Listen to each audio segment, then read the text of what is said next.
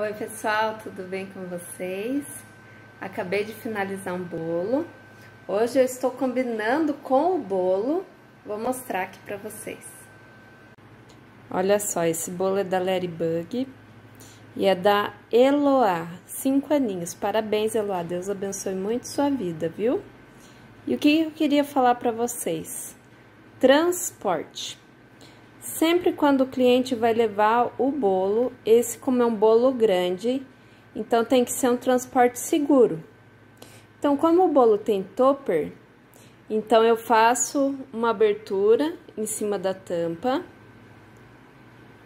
para que eu possa proteger as minhas laterais do bolo. Porque daí o cliente vai colocar no carro ou no porta-malas, então não vai correr o risco se chegar a encostar por exemplo, na lateral do carro, a borda do meu bolo vai estar protegida. Então, essa é a dica de hoje.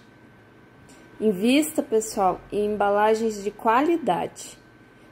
Essas embalagens tem da Galvanotec, tem vários modelinhos. Elas são mais caras, mas vale muito a pena e vai garantir que o seu trabalho não estrague na hora do transporte.